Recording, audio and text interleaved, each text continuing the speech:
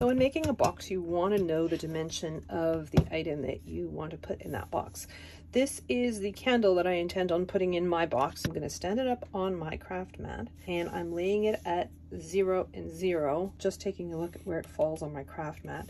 It's four and a quarter and at the top, four and a quarter as well. So you want to look at its widest point. So I have this handy tool.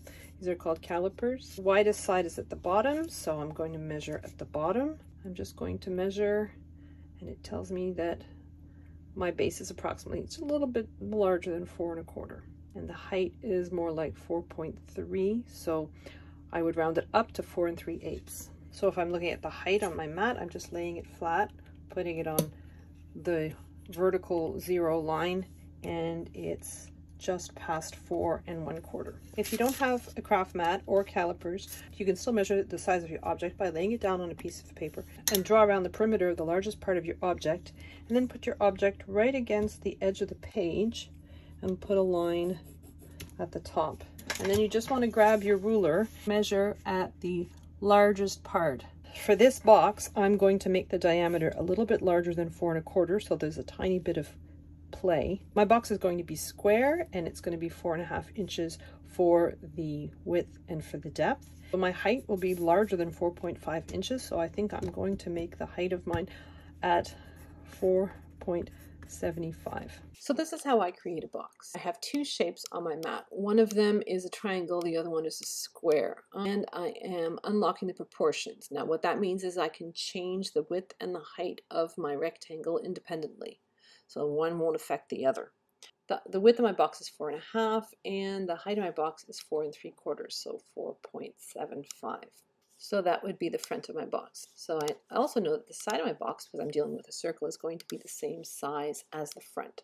So this is going to be the side.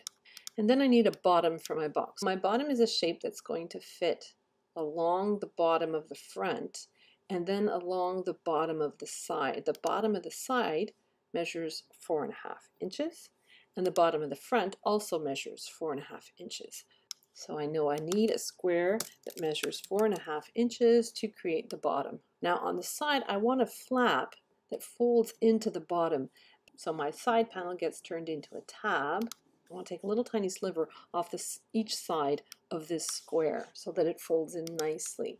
What I do is I take a triangle shape overlap my square shape just over one of the angles of my triangle and then I slice it and that leaves me with a nice right angle triangle. I'm going to duplicate this because I'm going to need this a few times while I'm making my box. So I know that the height of this is four and a half inches so I'm going to make my triangle four and a half inches. I want to make it just a little tiny sliver so I'm going to make it a quarter of an inch wide.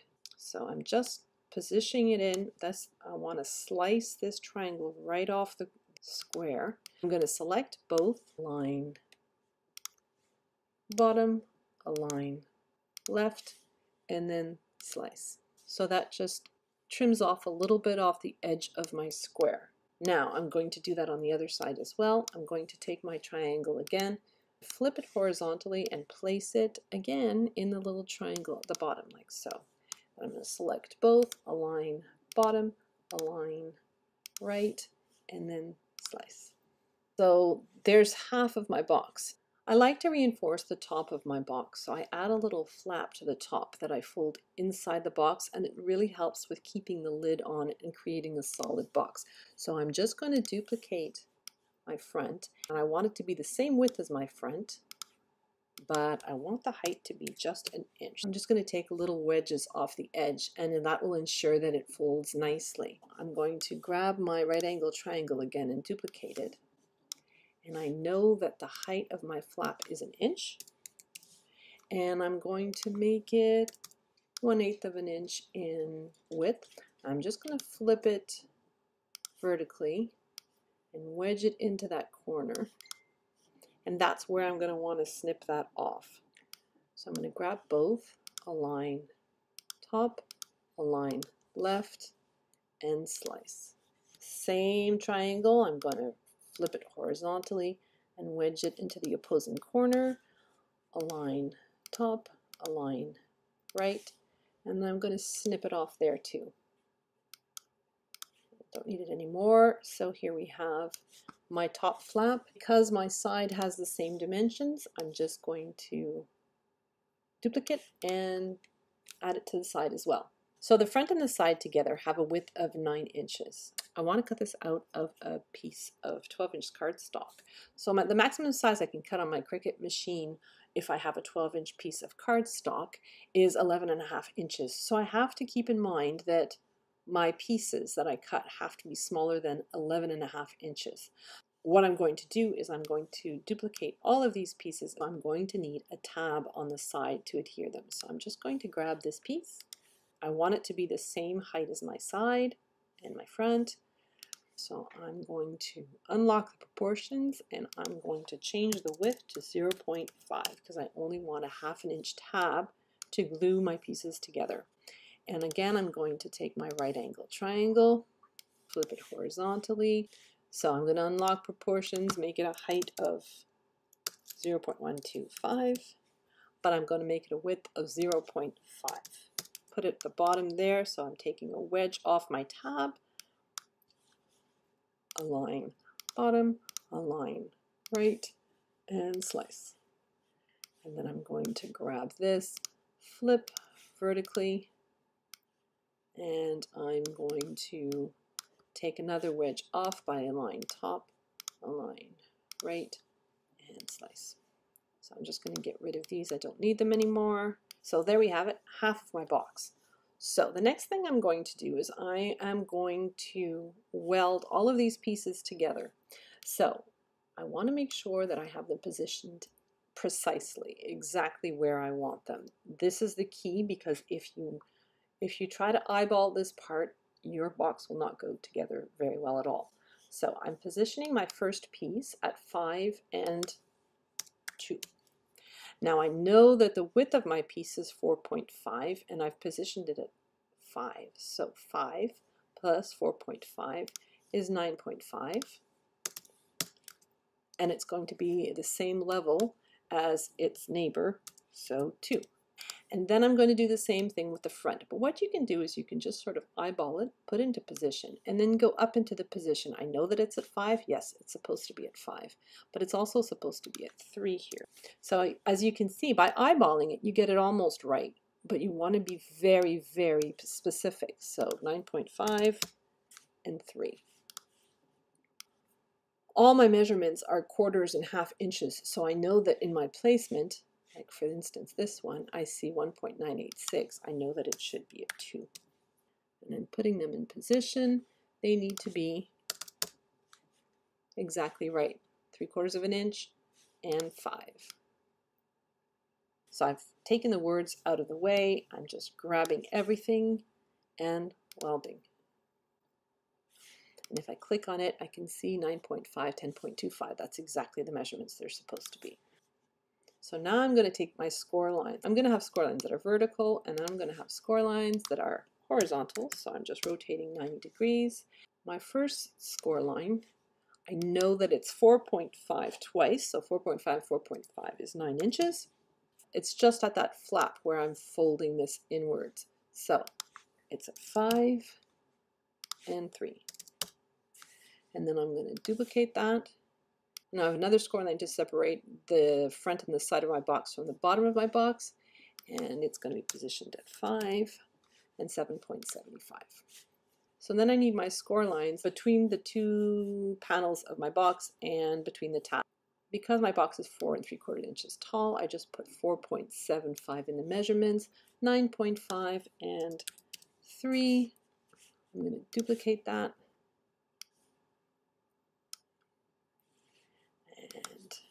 14 and 3. So I'm selecting everything and I've clicked on attach. So now all my score lines are attached. My back piece is exactly the same.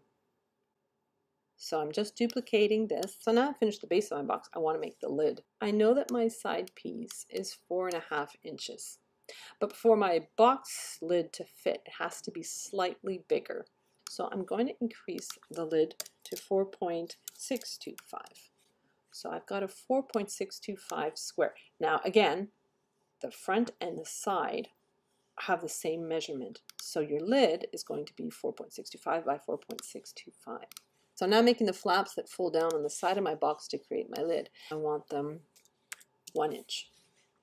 So I'm going to take this piece, I have I need it on both sides of my lid, and I also need on the top and the bottom, so I'm just duplicating it, rotating 90 degrees, and put them in position. So that's my lid. I also like to reinforce my box lid, so I'm going to create another piece here. But this piece is only going to be 0.875. So this piece is going to fold into the lid piece to create a nice sturdy lid. So I'm going to have this on all four sides as well. These are both going to fold down and create a 90 degree corner. So I'm going to need a tab here to adhere them together. So I know that my tab has to be an inch in width, but I also want it an inch in height. So here's my right angle triangle again, and I know that it has to be an inch high, and I'm going to make it an eighth of an inch just to take off a little wedge. Now I'm going to flip it vertically, and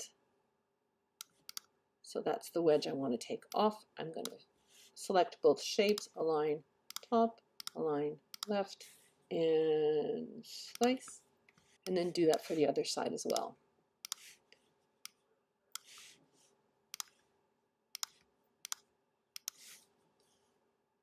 So I need four of those. I'm going to take my middle piece, I'm going to duplicate it, and I'm going to put it off to the side for now. I'm also going to take one of these side pieces, and duplicate it, and I'm going to put it off to the side as well. So much like I did for this, the front and the back of my box, I'm going to position everything so that I can weld my box together.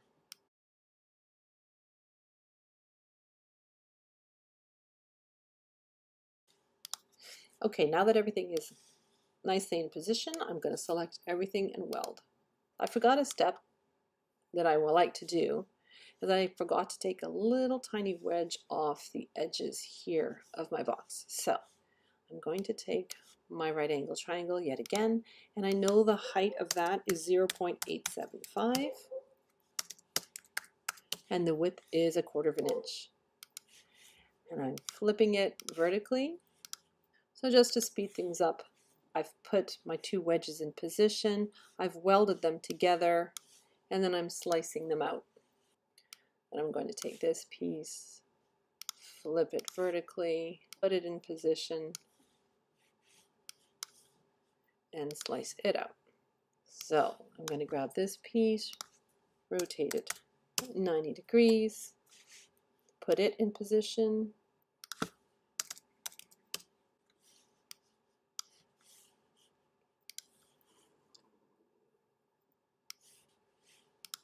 scrap pieces I don't need.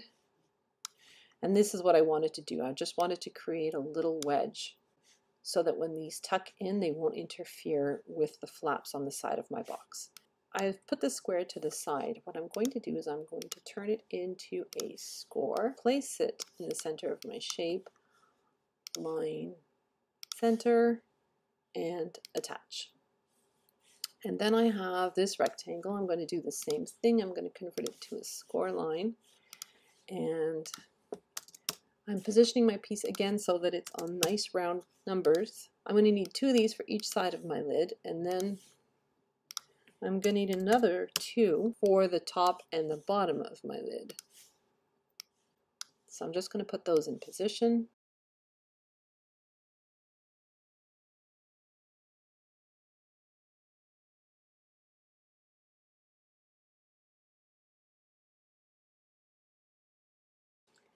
So now that all my score lines are in position, I'm just going to select everything and attach.